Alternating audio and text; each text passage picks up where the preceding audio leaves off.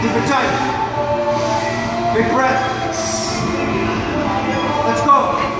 Come on, Michael.